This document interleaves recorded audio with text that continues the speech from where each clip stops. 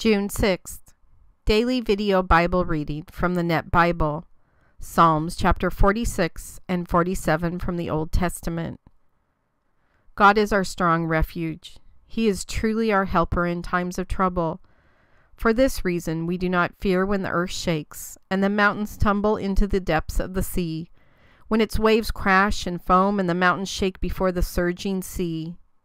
Selah.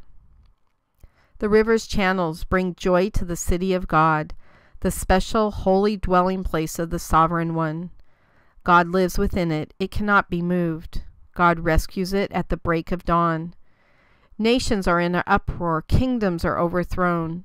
God gives a shout, the earth dissolves. The Lord who commands armies is on our side. The God of Jacob is our protector. Selah. Come, witness the exploits of the Lord, who brings devastation to the earth. He brings an end to wars throughout the earth. He shatters the bow and breaks the spear. He burns the shields with fire. He says, Stop your striving and recognize that I am God. I will be exalted over the nations. I will be exalted over the earth. The Lord who commands armies is on our side. The God of Jacob is our protector. Selah. All you nations, clap your hands, shout out to God in celebration. For the sovereign Lord is awe inspiring. He is the great King who rules the whole earth. He subdued nations beneath us and countries under our feet. He picked out for us a special land to be a source of pride for Jacob, whom he loves. Selah.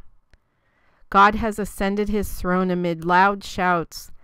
The Lord has ascended his throne amid the blaring of ram's horns. Sing to God, sing. Sing to our King, sing. For God is King of the whole earth. Sing a well written song. God reigns over the nations. God sits on his holy throne. The nobles of the nations assemble, along with the people of the God of Abraham.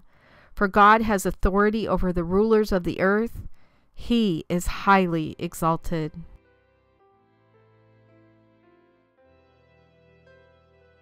God, I shout my praises to you, you who are the ruler of my world as well as the entire world, the entire universe. I think of those future times when everyone will bow down to you, everyone will call out your name. I so wish that that could happen right now that everybody could understand your grace, your mercy, your love for us, your incredible forgiveness.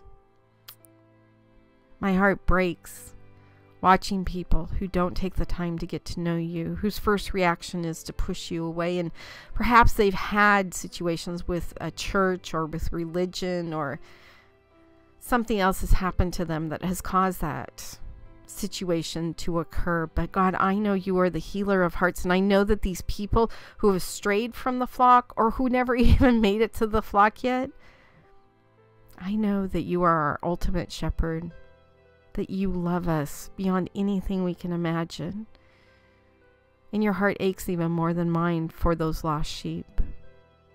God, I just pray that their path back to you will be made clear. I pray that if I play a part in any of that, that you will make it clear what you need me to do. Because I want them to be back with you. For everyone listening right now, God, I just pray that if they're playing a part in somebody's life to help lead them to you or help lead them back to you again in that relationship, that you will just make that that event, those words, uh, their paths crossing, whatever it is, I just I just pray that you make it successful and that we do what you need us to do. God, I just love you so much. Thank you for being my king. In your son's name I pray. Amen.